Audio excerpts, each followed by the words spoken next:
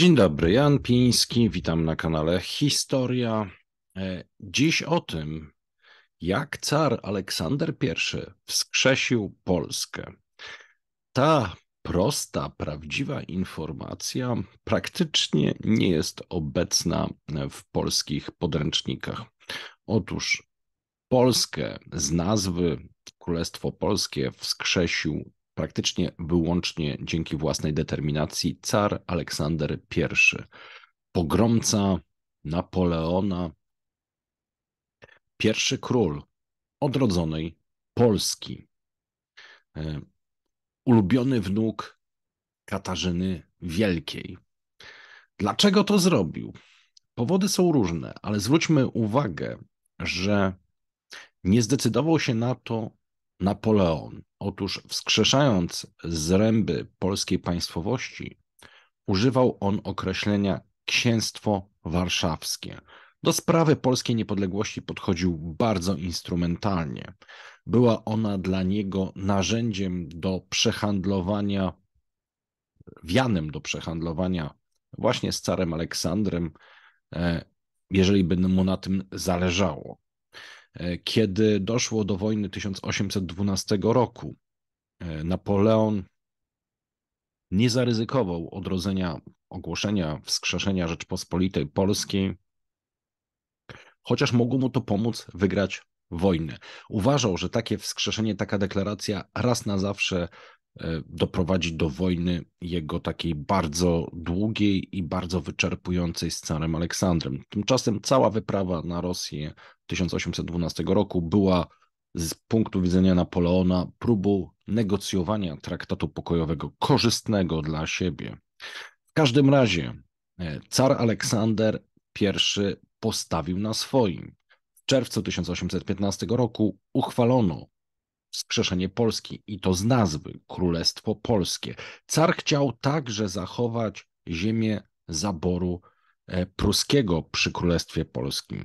Na to nie zgadzała się Wielka Brytania, e, Prusy, ale Austria. Mimo, że car oferował e, Prusom więcej niż wystarczającą rekompensatę w postaci ziem Saksonii. Po prostu tutaj najbardziej decydowała wroga angielska polityka względem Polski. Co takiego Polacy e, za, e, zrobili Brytyjczykom, zrobili Anglikom, że nie chcieli naszej niepodległości? Otóż dla Anglików brak Polski na mapie był bardzo pożądanym czynnikiem destabilizującym e, sytuację w Europie i angażującym siły, których obawiali się w innych częściach świata, przede wszystkim Rosji, dla której stanie na trupie Polski uniemożliwiało, utrudniało działania w Azji w rywalizacji o wpływy e, z Wielką Brytanią, z Anglią. Tutaj stosuję to zamiennie, bo w tamtym czasie wszyscy mówili Anglia, e, chociaż tak naprawdę dotyczyło to Zjednoczonego Królestwa. I Anglikom strasznie zależało na utrzymaniu mm, tego trupa Polski w takim stanie, aby kipił. W każdym razie na początku 1815 e, roku Anglia wraz z pokonaną Francją i Austrią e, zawiązała tajny sojusz, e, którego właśnie celem były ambicje Romanowów zjednoczenia ziem polskich pod berłem carów. E, co ciekawe, e, ten upór cara we wskrzeszeniu Polski doceniali współcześni Polacy. Mm, następca na stanowisku e, naczelnika powstania kościuszkowskiego, Tomasz Wawrzecki, mm, był tym, który odczytał dziękczynny adres w katedrze świętego Jana do nowego monarchy Polski. E, wtedy też powstała słynna pieśń, e, której słowa e, do dziś znamy, tylko trochę przerobione: Boże, coś Polskę. W oryginale było tam przed Twe ołtarze zanosim błaganie naszego króla Aleksandra I, cara Rosji. Zachowaj nam, panie. Alojzy Feliński napisał tą pieśń autentycznie z potrzeby serca obraz e, tamtej epoki został zafałszowany poprzez e, pryzmat przegranego powstania listopadowego, bardzo głupiego, sprowokowanego przez świadomych, nieświadomych większości agentów Anglii, także obcych stowarzyszeń masonerii, którzy po prostu uderzali w ten carat bezmyślnie. Polska zarządów cara w latach 1815-1830 mm, to było, y, jakbyśmy dziś powiedzieli, bardzo dobre, jedno z najlepszych państw Polaków w historii. Zresztą tak było postrzegane przez rodaków, którzy na przykład jadąc z Galicji do e, Królestwa Polskiego, car, car pod berłem cara, mówili, że jadą do Polski. E, praktyka, to, że konstytucja, którą nadał e, Polsce car Aleksander, nie była przestrzegana, że działała tam cenzura od 1819 roku, że tajna policja trzymała wszystkich za twarz, no to trzeba patrzeć na to przez pryzmat tego, co się działo w większości niepodległych i suwerennych państw. Tam również nie było żadnej wolności e, prasy, a tajna policja e, pilnowała tego, aby nikt nie podważał e, władzy. Ogólnie można powiedzieć, że w tamtym czasie Polska pod berłem carów zyskała unikalne możliwości rozwoju E, z których korzystała właśnie do 1830 roku. E, polskie know-how, polskie zaawansowane mm, technologie, przedsiębiorczość e, i dostęp do rosyjskiego rynku dobrze, bardzo dobrze wróżyły rozwojowi gospodarczemu. Dość powiedzieć, że w przeciągu tego krótkiego okresu 15 lat sama Warszawa zwiększyła swoją liczbę mieszkańców do ponad 140 tysięcy prawie dwukrotnie. To znaczy, e, to było e, z 80 e, paru tysięcy w 1817 do właśnie 100, ponad 140 tysięcy w 1830. Ten rozwój gospodarczy został zatrzymany właśnie przez bardzo głupią i bardzo nieodpowiedzialną wojnę. Tu znowu, drodzy Państwo, żeby było jasne, to nie chodzi o idealizowanie cara, carów, później jeszcze Mikołaja I na tronie szczególnie do 1830 roku, bo car Aleksander zmarł w 1825. E, chodzi o to, żeby pokazywać to we, właściwym, we właściwej perspektywie. To znaczy, gdyby e, Polska wówczas realizowała swoje prawa i po prostu bogaciła się, e, wykorzystywała fakt, że było polskie wojsko, polskie, polski system kształcenia. Dość powiedzieć, że słynny Uniwersytet Warszawski założył w 1816 roku car Aleksander I. Mm, więc tutaj mówimy o zupełnie innej polityce. Jeżeli byśmy przeczytali nasze mm, książki, nasze podręczniki, to e, Królestwo Polskie pod berłem carów e, wygląda tam niemalże jak kalka generalnego gubernatorstwa pod rządami e, hitlerowców. No jest to mm, drastyczne, bo to nie ma takiego rozróżnienia. No, tu okupacja, tam okupacja. Tymczasem rządy cara Aleksandra I w Królestwie Polskim były normalnymi rządami mm, jak na ówczesne standardy w których nie dochodziło do specjalnych dyskryminacji ludzi e, tylko i wyłącznie z powodu pochodzenia polskiego. I mm, ta szansa została zniweczona właśnie przez angielskich e, agentów, którym zależało na zepsuciu relacji, ponieważ polski przemysł, polscy przedsiębiorcy mający dostęp do rynku carskiego, krótko mówiąc, wyrzucali z tego rynku E, przedsiębiorców angielskich. Dodatkowo e, Rosja mająca spokój w Polsce e, była i zaczynała być bardzo niebezpiecznym rywalem w grze o wpływy w Anglii, w Azji. Przede wszystkim chodziło o Indię.